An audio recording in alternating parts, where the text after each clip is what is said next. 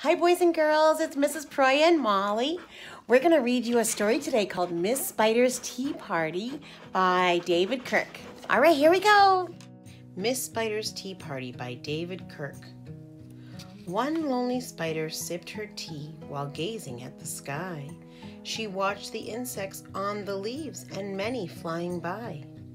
If I had friends like these, she sighed, who'd stay a while with me, I'd sit them down on silken chairs and serve them cakes and tea. Two timid beetles, Ike and May, crept from the woodwork that same day. But when Miss Spider begged, please stay, they shrieked, oh no, and dashed away. Three fireflies flew in that night, their spirits high, their tails alight. They spied the web and squeaked in fear. We'd better get away from here. The little trio did not feel they'd care to be a spider's meal. Four bumblebees buzzed out by outside. Please come to tea, Miss Spider cried.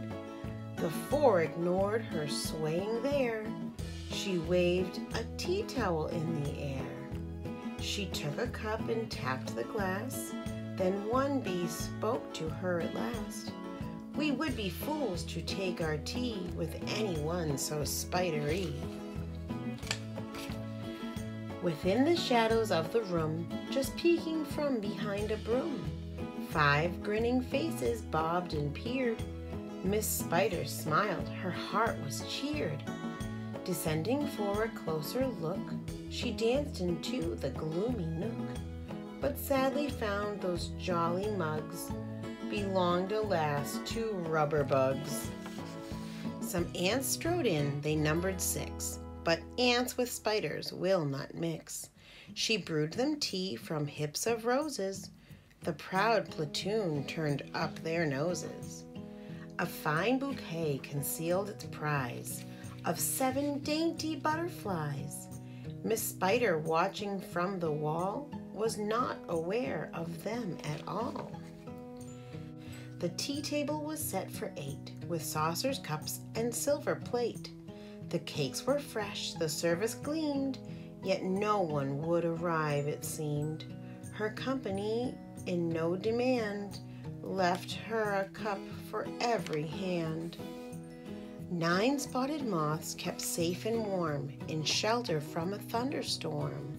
They stood beneath an open sash and watched the jagged lightning flash. Miss Spider dropped down on a thread, a silver tray above her head.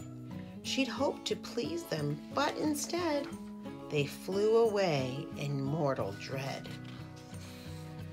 They've left me all alone, she cried. She dabbed her eyes and sadly sighed.